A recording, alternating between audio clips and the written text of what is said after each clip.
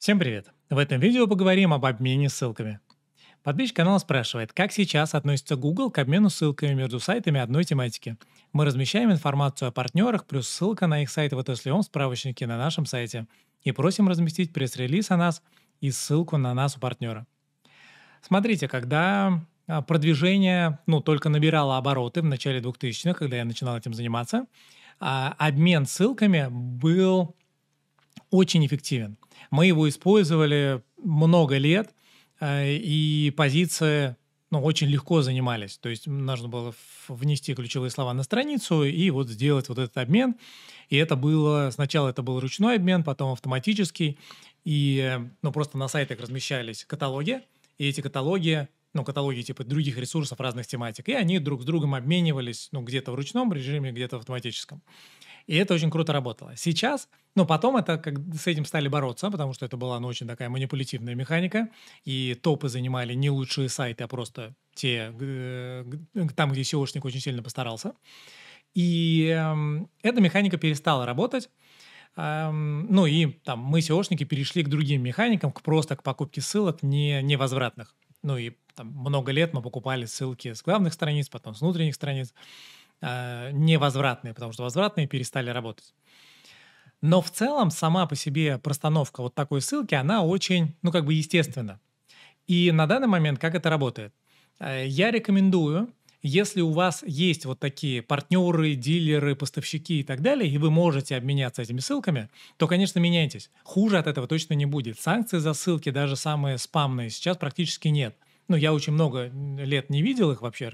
То есть даже когда ну, довольно жестко применяется там такие полуспамные технологии, то, ну, так, чтобы за этот спам сайт улетел, но это очень редко, и если и бывает подобный эффект, то начинаешь копаться, и там еще куча других ошибок находишь, но, в общем, не факт, что из-за этого. Поэтому, ну, а когда это единичные какие-то такие размещения, то точно ставьте. Хуже точно не будет, а лучше может быть. Поэтому вполне ставьте.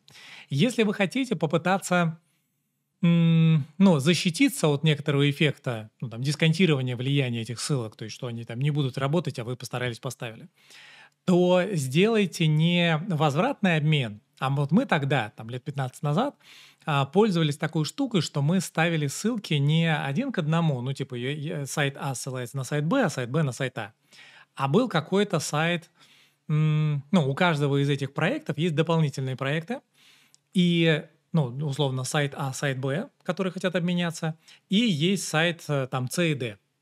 И вот сайт А ссылается на... Нет, не так. Сайт А ни на кого не ссылается, и сайт Б ни на кого не ссылается. А ссылаются дополнительные проекты, то есть сайт С ссылается на А, а сайт Д ссылается на Б. Ну, то есть вот так перекрестно друг на друга сослались, а, и все.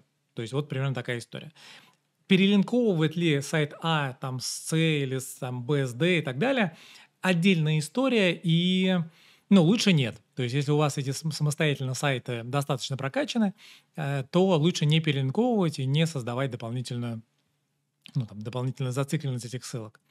Но при этом тогда эти дополнительные проекты должны быть ну, достаточно сильные. Ну, например, у вас два интернет-магазина, один занимается там стульями, второй столами. И вот вы при обмене используете то один, то другой, но главное, чтобы не было возвратной ссылки. Вот мы это тогда использовали, очень круто работало.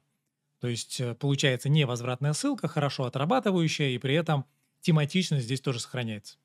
Вот, можете попробовать вот так. Но в целом это, ну, если и просто сделать туда-обратно, эффект от этой ссылки вау, скорее всего, не будет от нее, но, скорее всего, некоторый плюс от нее все-таки получите, поэтому лучше ставить, чем не ставить. На этом все. Подписывайтесь на канал, пишите вопросы в комментариях. Пока-пока.